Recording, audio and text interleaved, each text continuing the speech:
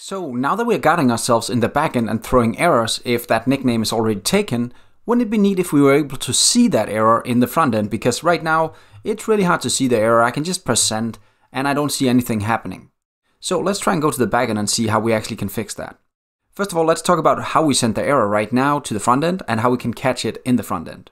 And let's just start with a simple example right here. First of all, we kind of wrap ourselves in the nickname right here in the try catch. We did that in the last lesson where we created this when we add the client, we kind of throw an error if something is horribly wrong and we say nickname is already used. That's going to be caught right here if that's the case, like in our case right now where I tried to send John again and that's actually already taken. So because of that, we hit this client error right here. But what is that actually?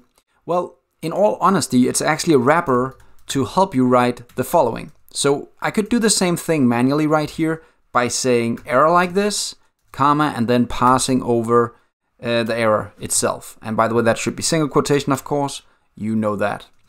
Um, so that's actually the same thing that we're doing right here in these two lines right here. Now, I might want to use this one instead because maybe I want it to be more precise that this is actually in the chat area. So I'll call a chat error maybe uh, where this is just a general error message event that you're sending. And again, you're sending it with this error right here, but it's pretty much just an emit to the client from the backend that something went wrong.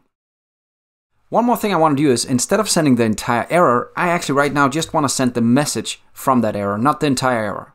So let's go back right here to the service and just show you what an error actually is. If I go into the error right here, just control or command click, and then I can actually see an error has a name, a message, and a stack.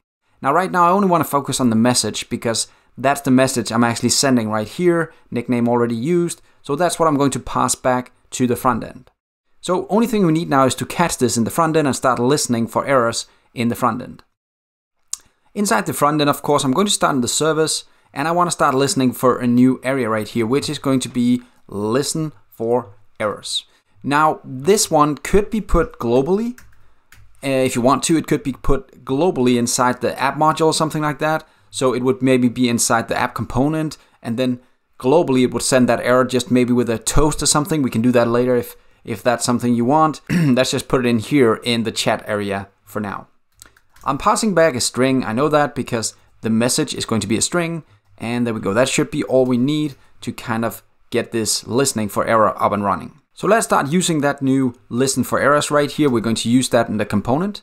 And in here, what I'm going to do is just like what we did with the clients, we're going to say error dollar sign right here to say this is going to be an actual um, listener, an observable that we're going to use in the HTML. And we'll say chat service listen for errors. So now we start listening for these errors. Now we need this property locally, alt enter. There we go. Now we have the property available and we'll just get rid of this guy. There we go. Now we have the error available. And again, we have the same problem that lint is telling me maybe you should be very specific that this is undefined. So let's just do that. The final thing I'll do is I'll go into the HTML and just start printing this error if there is actually an error available. Now I'm going to just put it all the way in the top right now. Again, don't worry, we will start looking into some styling soon with some Bootstrap to kind of make this prettier in different ways.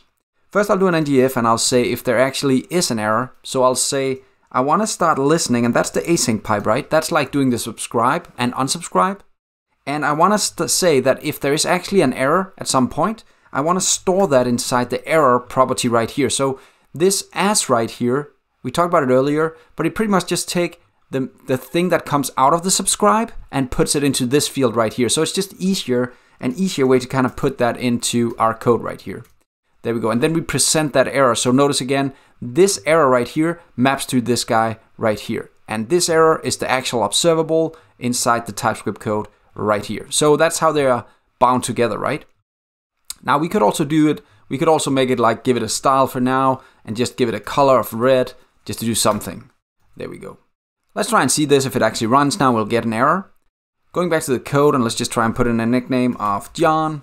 Since the backend has restarted, John is gone, so we need to just go to the other client we have right here and also put in John there, and now it should actually give me an error.